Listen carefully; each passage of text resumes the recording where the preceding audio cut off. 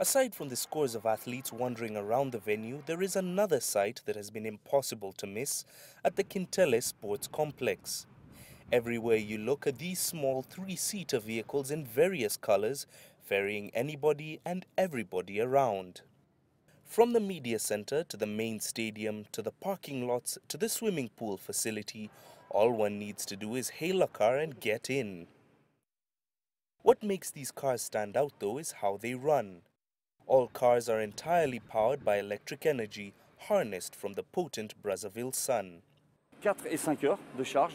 It takes about four or five hours of charge, meaning at night you can drop off the car, connect it to an electric outlet and drive the car the next day between 250 and 300 kilometers without a problem. 300 km sans aucun problème avec votre véhicule. The solar power is stored in several blue storage batteries off-site from the stadium before then charging the 50 blue Congo cars on site. And it's not only the smart cars on display, but also 15 of these buses that run a circuit around the entire Kintele complex, picking and dropping off passengers. Already a similar system is in use at the University of Abidjan Cocody in Cote d'Ivoire, where the buses are used to transport students around the campus, as well as the first University of Yaoundé in Cameroon.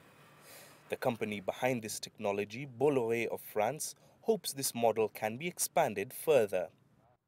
Par contre, aussi le faire euh. Using this facility, we at Bolloré are currently only running a fleet of vehicles, but this system can also be used to power factories, villages, towns, or even stadiums. We have the capacity to expand electricity energy to such projects. Right now, the sun basically powers our cars. We have the panels, the blue storage, and the cars. But what we do, especially in Africa, because you have such marvelous sun here, is extract the maximum solar energy to run this system. Pouvoir le stocker donc à l'intérieur de Blue Storage. With the issue of sustainable energy continuing to rise to the forefront in Africa, how countries can wean themselves off traditional power continues to be a major issue.